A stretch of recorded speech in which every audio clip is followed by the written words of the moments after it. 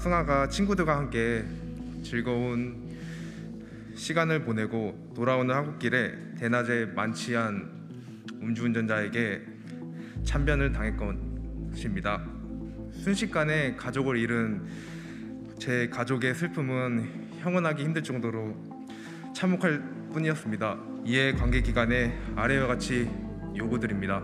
가해자에 대한 엄중한 조사와 처벌을 요구합니다. 철저히 수사받고 처벌받도록 모든 수단과 조치를 취해 주시길 바랍니다. 우리나라 음주운전 교통사고 통계를 보면 2018년 윤창호 씨 사망 사건과 코로나19 사회적 거리두기 여파로 줄어드는 추세였지만 최근 거리두기 완화 등 이유로 다시 증가 추세입니다. 덩달아 사망자도 늘고 있습니다. 우리나라 음주운전 처벌 수위는 어떨까요? 음주운전 사망 사고 시 가해자에게 최고 무기징역까지 선고 가능하지만 실제로는 그에 미치지 못하고 있습니다.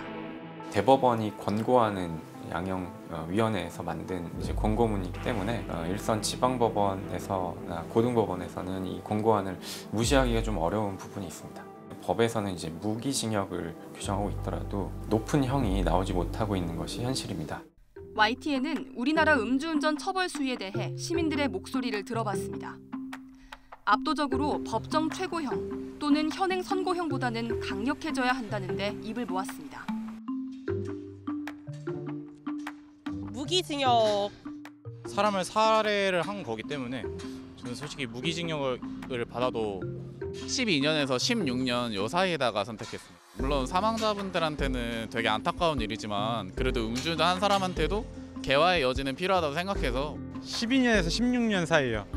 좀 다른 법들과 형평성에 맞게 하지만 그래도 지금보다 훨씬 강력하게 해야 된다고 생각해서 어, 지금 현재 양형 기준은 너무 낮은 것 같은데 어, 그 기준을 대폭 강화했으면 좋을 것 같습니다.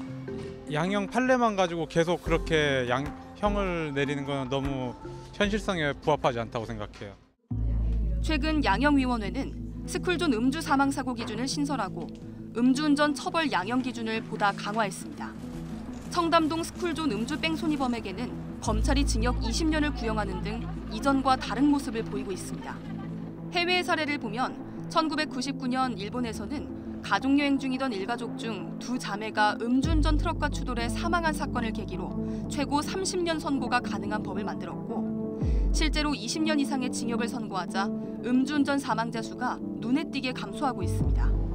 미국 테네시주에서는 음주운전으로 사망한 피해자에게 미성년 자녀가 있다면 성인에 이르기까지 가해자가 양육비를 지원하도록 하는 법안을 2023년 1월부터 시행하고 주마다 다르긴 하지만 대체로 엄중한 범죄로 보고 살인죄를 적용하는 주도 있습니다. 일각에서는 처벌 강화가 전부는 아니라고 주장합니다.